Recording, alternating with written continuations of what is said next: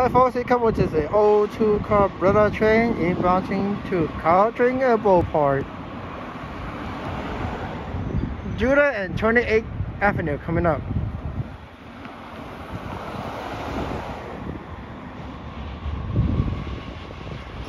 There he goes.